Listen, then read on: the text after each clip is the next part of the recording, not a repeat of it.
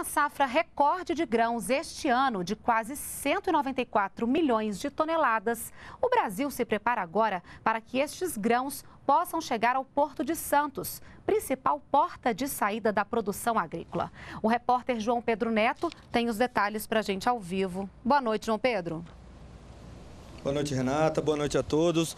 Os ministros dos Transportes, da Secretaria de Portos e da Agricultura recebem nesse momento representantes de associações de produtores rurais, de empresas transportadoras e de embarcadores para uma reunião de monitoramento sobre o escoamento da safra de grãos 2013 e 2014 até o Porto de Santos. Desde fevereiro deste ano, Desde fevereiro deste ano, os caminhões precisam agendar previamente a chegada da carga até o porto. Segundo o ministro, da, chefe da Secretaria de Portos, Antônio Henrique Silveira, essa medida tem funcionado e ajuda a garantir que o, os terminais trabalhem na capacidade adequada e que o, o, o sistema viário comporte o trânsito.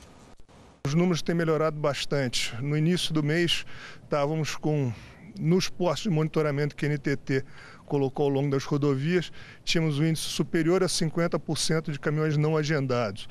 Na última medição, que foi na semana passada, no final da semana passada, esse número já caiu para 6%.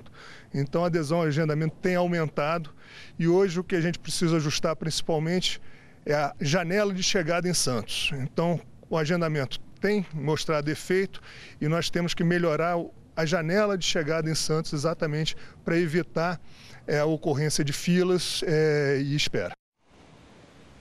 Ainda de acordo com o ministro Antônio Henrique Silveira, hoje o Porto de Santos não pode receber caminhões que não tenham feito o agendamento prévio e que quatro multas para terminais que descumpriram a norma já foram aplicadas, num valor que soma mais de 300 mil reais. Renata? Obrigada, João Pedro, pelas informações.